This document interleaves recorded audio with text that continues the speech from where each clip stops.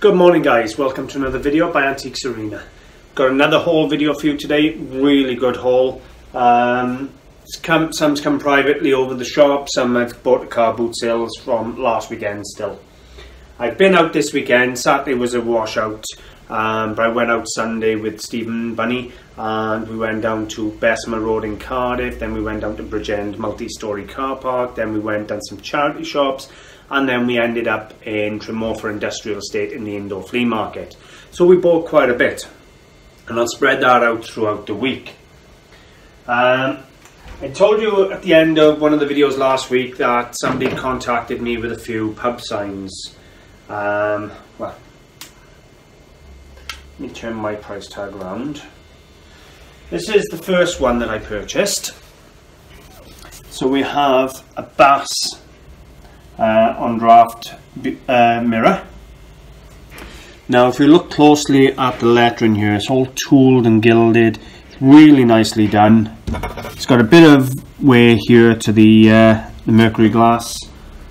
Really nice, I love the lettering on this. It's a real nice sign. Date wise it's probably 1940s, somewhere around there. Now I paid £20 for it. My asking price in the shop here is 65 and I think it's worth every penny of that.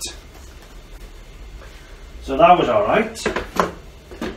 And again, another £20 buy off the same people was this Martell and Co.'s very fine cognac brandy sign. You got the cavalry officers there in the middle. Again, I like the writing. It's not as detailed uh, as the other. There's no tooling or gilding in the actual letters, but still really nicely done. A nice size mirror, advertising. This one's a bit later, quite a bit later to be honest. It was probably 1980s, um, but that's just a guess. But either way, I do like it, and I've priced him up at 45 pounds. So my £40 outlay is going to return me £100 give or take. Um, they're up for 110. I may be lucky and get 110, but unlikely. I'll probably achieve 95, 100, somewhere around there for the two. Um, gentleman come in last week and we done some trading, some bartering.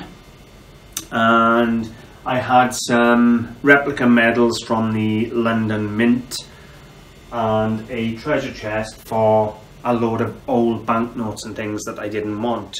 Let me show you the chest. Now, it's quite a nice looking chest. It's not the biggest. It would make a lovely jewellery box for a young girl, you know. Fill it with costume jewellery, what a Christmas gift that would be for a young girl for dress up. Um, so we have literally a pirate's treasure chest.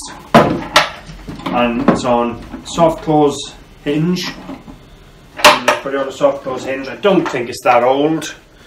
However, it does have a nice look to it.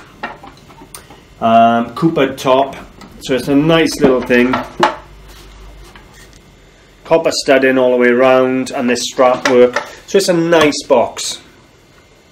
Um, between um, the box and the medals, only about £122. I'll show you the medals in just a minute, if I still got them down here. Um, he took £82 worth of coins and banknotes, and I give him £40 cash. Now, the box I see at about 40 quid.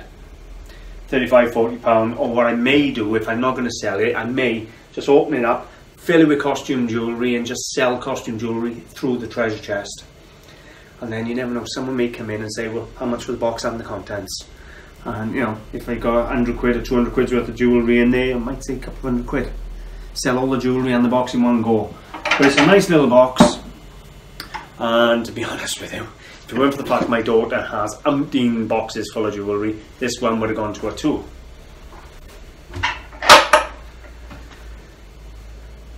I'll show you the medals in a minute now. Um, I don't think I've put this into a film yet. Um, this was a bit of jewellery I had last week in Bessemer Road. Let's see if I can get it there so you can see it tiny. It's a beautiful, beautiful brooch. Now it's 830 grade silver. So 830 parts are silver. It's fully stamped on the back here. on this bit here I stamped 830SHS and HS is for Hermann Siersbøl if I can pronounce that right and we have a Danish brooch that's the uh, name there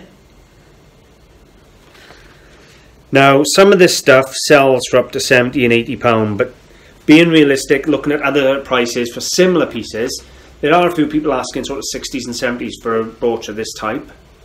I can see about 30 35 pound for it. It's a nice Danish brooch that will sell easily for that money and it cost me two pound investment. So I'm more than happy with that. Um, let me have a quick look if I got the coins. Two seconds.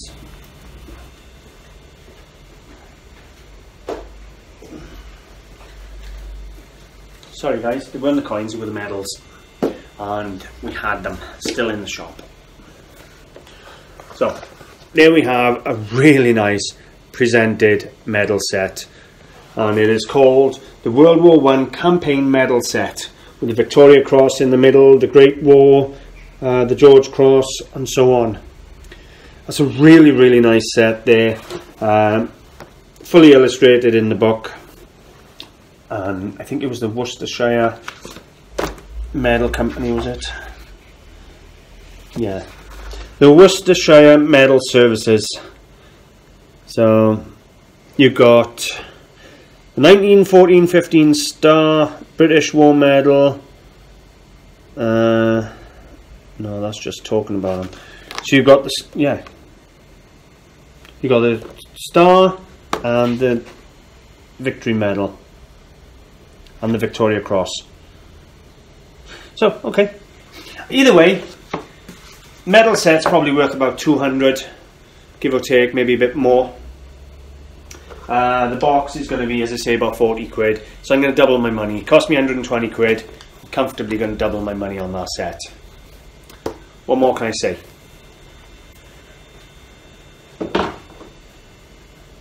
There was one other lady that came in the shop. She'd been coming in the shop buying glass vases. As you know, I had a whole heap of glass in, about 70 or 80 pieces of Remaniki or Ramaki, uh, Lassie, Whitefriars and so forth. Well, a lady been coming in and she'd been buying green glass vases. She don't care who made them, she's just been having them because of the colour and the shape. Well, she came in last week and she wanted to trade. And I'll show you what she traded now. Okay, as I said, the lady came in and she wanted to trade um, a couple of pieces for a glass vase. Now the glass vase she took was priced up at £18, which I would have sold for 15 um, In place of the vase, she traded me in a pair of small Beswick or Beswick pottery dogs. These are replicas of the Victorian flatback Staffordshire dogs. Flat back, and undecorated because they used to go up against the wall on the mantle. You never saw the back, so they would always just do the back. Now I've priced these up at £20 a pair, and I'll take anything over £15. So the cost of the vase is covered here on these two Beswick dogs. However, thrown in the mix was also this Chavel horse. Now, Chavel is a factory uh, a company that started in 1980 by Johnny De Beer and they produced mainly horses at the time and they shipped mainly to North America and the United Kingdom. It's got its label on it.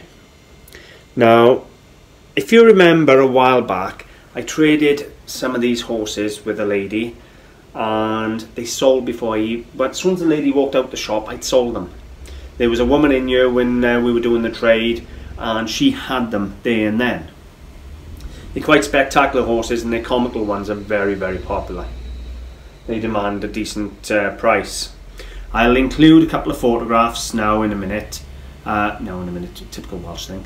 Uh, in just a second now um, of the company, a little read.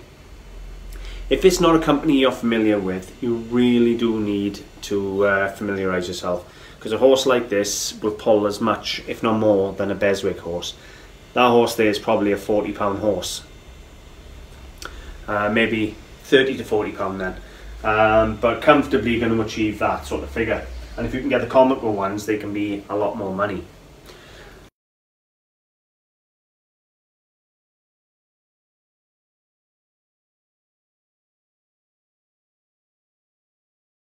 So, as a bit of bartering this week, you know, I've come away with the dogs, the horse, the medals, and the treasure chest um, for 40 quid really, because once the stock is in here, it don't mean anything to me. If it's in the shop here, my part, what I enjoy is going out finding it and buying it and loving it. And then once I got it in the shop for sale, I just want it gone. Well, the banknotes I'd had for a while, they come in very cheap, and they were only priced up at a pound a note. Uh, a couple of them were two pound a note, but more often than not, they were a pound a note. And he took a load of them, and they've been there for quite a while, so it was nice to see them sold and swapped into someone else. So it's been a couple of really nice pieces uh, brought in by the bartering and buying in. Goes to show having a shop is really handy. Now they tried those signs on Facebook selling site a couple of times and apparently you've had them for months and haven't been able to do anything with them. At 20 quid each, they were a steal. Talking about a steal, have a look at this. I went down to Bessemer Road Market Sunday, this Sunday, um, with Stephen and we were walking around and we bought them really well considering it was only two or three rows. It was very quiet but we had a lot of rain over the weekend but it was dry Sunday. I've had... Hello. Hello. Sorry guys, I had uh, customers come in there. As I was saying, um, walking around in the morning with Stephen and I bought a beautiful piece of advertising. Now we have some metal sign and it is for the famous famous Valspar boiling water test on this side. Valspar 2 to 4 hour lacquer on sale here. Now that's a really really nice sign. It's probably 1930s. But what's even better, double sided.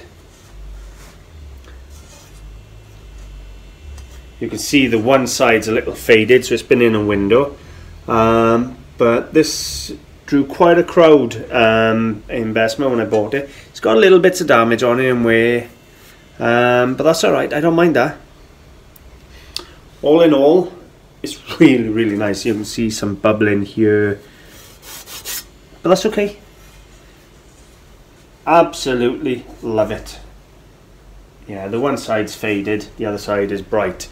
So it's definitely either been mounted on a wall or it's been in a window with a sun connected. But the one side is really, really bright and strong.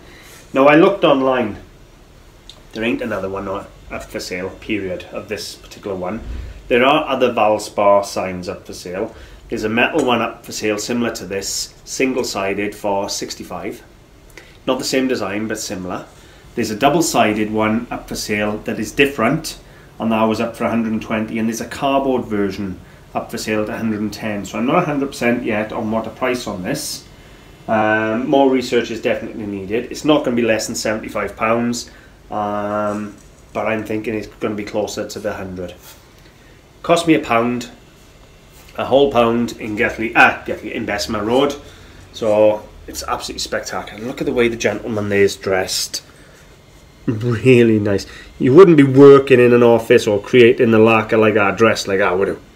No, this day and age, you'd be in overalls and safety gear. So really, really nice uh, sign there, bit of advertising, and for a pound that was a steal.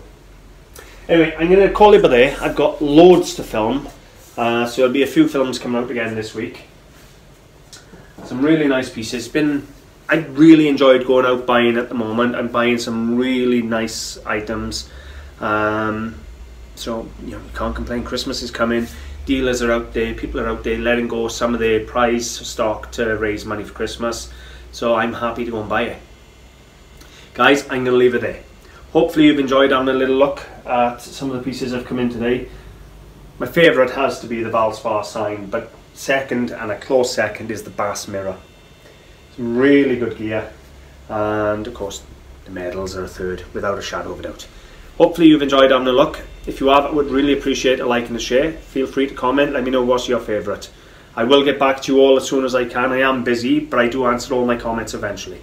Guys, thanks for watching. Bye for now.